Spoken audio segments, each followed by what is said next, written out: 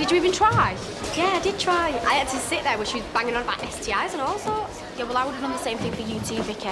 Only I would have done it properly. How could have, Jess? She wanted me to take them right then and there. Well, you could have made up an excuse or something, or you could have pretended to take them. But no, you just caved easily. Do you know what? I don't believe you. You should be grateful. I mean, you got yourself into this mess. Well, excuse me, but who do you think you are to judge me? I'm not the one dancing around a pole in my knickers. You know that I only did that because I needed the money. Yeah, well, we both know what that makes you then, don't we? You've got a nerve, Jess. So what? You're on your own. Fine! No. Actually, except you're not on your own, though, are you? What as if you slept with uh, 14 blokes recently and you've got the nerve to call me? Hey, what's going on?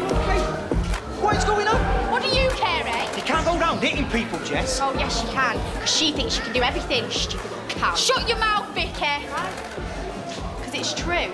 You go out clubbing every night, bringing random blokes home, and you expect me to cover for you? I said shut your mouth. All right, now that is enough. Do you know what? You're just jealous of me. Jealous of what? You're a skank.